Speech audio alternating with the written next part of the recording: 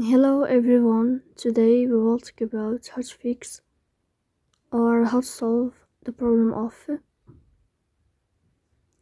verification code not sent in on Duolingo. You click on settings. Here we click on apps, default apps, app settings.